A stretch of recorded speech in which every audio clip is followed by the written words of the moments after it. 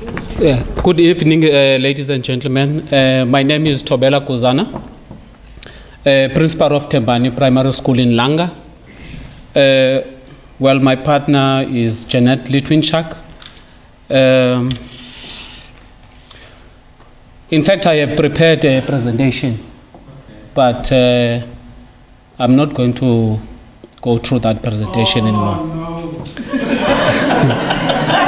Uh, for, for the very simple reason is that what I have prepared is all what has, has been said. Then there's no point of boring people and saying the same thing all, over and over.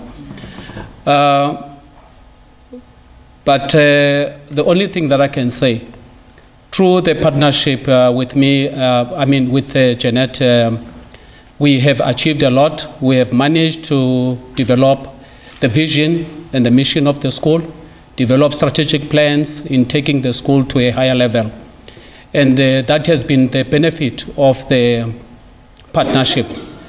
And, uh, and the partnership was actually I initiated by volunteering myself uh, after realizing the challenges that are facing our schools in, uh, in our communities.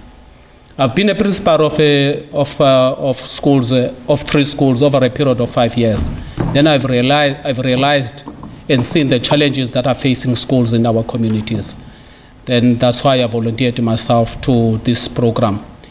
Um, I'll hand over to Jeanette. Thank you very much. Thank you, Thobela. So I had um, 20 years in the UK. I'm a South African and I came back uh, just over seven, uh, 10 years ago and spent seven years uh, self employed. My children left home and I thought, well, now I really want to do something uh, in terms of, of something worthwhile in our country.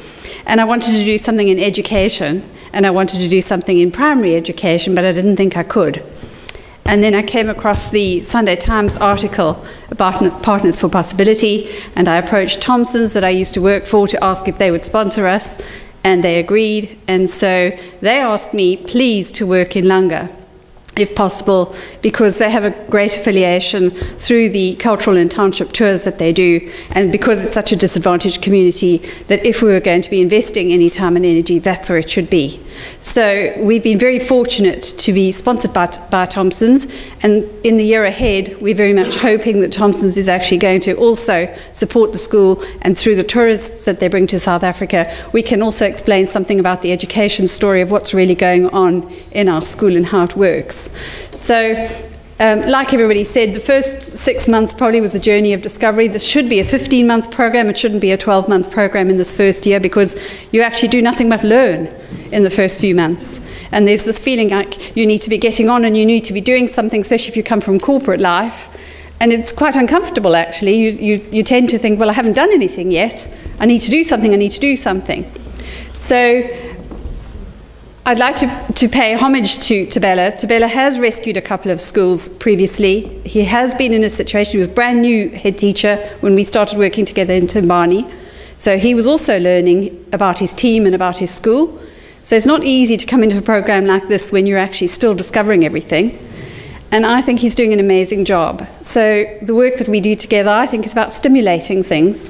And so if anybody here is thinking about coming into this program, I'd endorse what's been said. It doesn't matter what you come with. You, can, you, you are where you are, and you start where you are, and you go forward together. And if you're in a school like ours, which needs so much help and so much development, You'll figure it out as you go along. There isn't a blueprint, there isn't some kind of mysterious uh, plan that's already there. I think the program is wonderful because it gives you a framework. And I wanted to do this, and I would have found a school to work with, I believe, but I don't think we would have had the rich um, learning that we've had, the support that we've had, Meridy's input. And so uh, just a small measure of success at the very first teachers' meeting, a parent-teacher meeting that uh, ran at Tembani, he had 20 parents turn up. And you know, you hear all about how parents don't really support schools, etc. Well, he had one last week and there were about 350.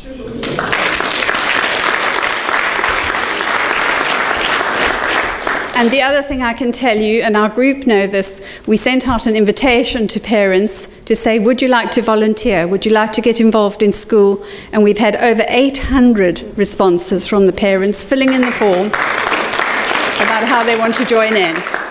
So we're set now to begin our year of community building, and hopefully we can harness all that great stuff that we're building on now. It's not easy, but I think we're going to do it.